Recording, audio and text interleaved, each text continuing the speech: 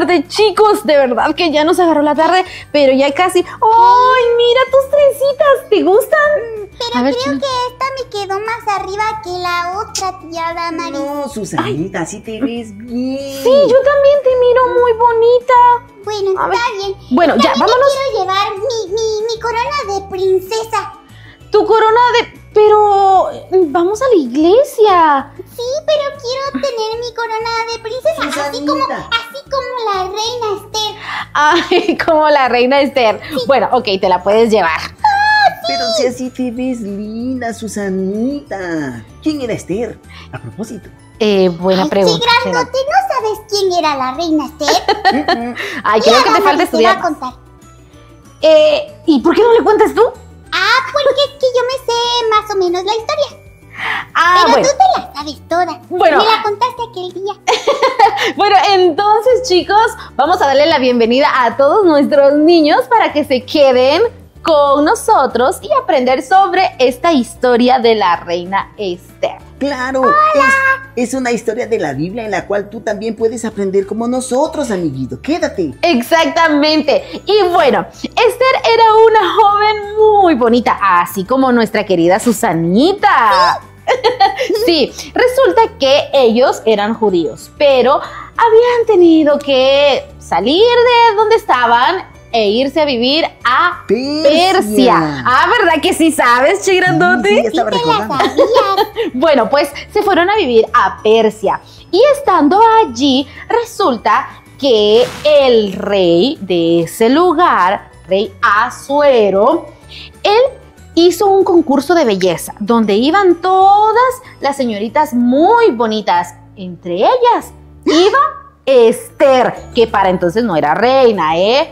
Ella ganó el primer lugar de ese concurso y se convirtió en reina. Por eso es que acá nuestra querida Susanita dice la reina Esther, che grandote. Ah, Ajá, bueno, pero pues- todo iba bien allí con ellos. Claro que sí. Bueno, de principio. Porque Esther tenía a su tío que se llamaba Mardoqueo. ¿Cómo se llamaba su tío? Mardoqueo. Exactamente. Y su tío le había enseñado muchas cosas bonitas, como obedecer a Dios antes que a los hombres, como amar a Dios con todo su corazón.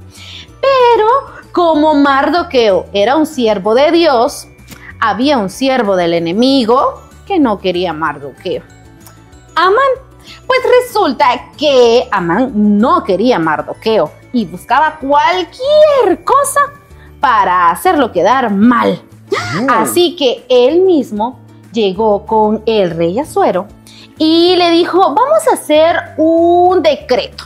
¿Un Y ¿Qué ese es de, eso? bueno, es como... Es como una ley. Exactamente, Oh. muy bien. Qué bueno que estás estudiando, che grandote. No, sí, Bueno, pues resulta que en esa ley decía que había que matar a todos los judíos. Y como el rey Azuero Mm. creía mucho, mucho y confiaba mucho en su siervo, que también era siervo del enemigo, entonces le dijo, sí, yo voy a firmar. Firmó, puso su sello y todo.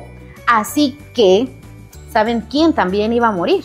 ¿Quién? La reina Esther, porque recuerdan que la reina Esther también era judía. Sí. Exactamente. ¿Y qué pasó entonces? ¿Cómo se? Entonces, entonces, Dios iluminó la mente de el tío de Esther. ¿Cómo se llamaba el tío de Esther? Mardoqueo. Muy bien, chicos. Iluminó la mente de él y todos se pusieron en oración y ayuno.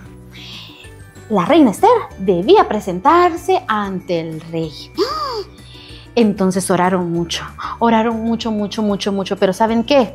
La reina no podía ir solo así con el rey y decirle, hola rey, ya vine, vengo a pedirte algo. No, porque si ella hacía eso, el rey podía mandarla a matar.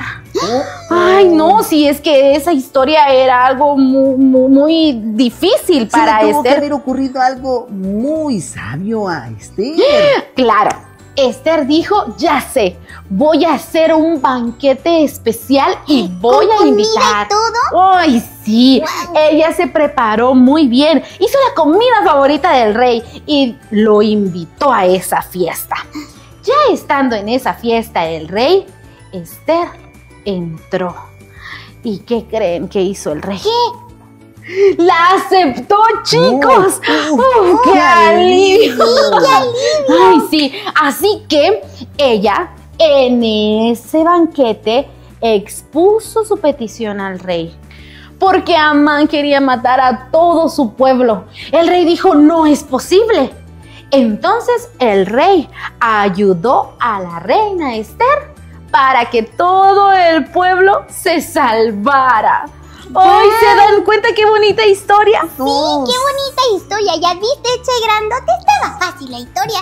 Sí, Dios tenía un propósito especial para Esther al llevarla al palacio y protegió a todo su pueblo. Claro que Todo sí. el pueblo. Claro que sí, pero el secreto está en el ayuno y la oración.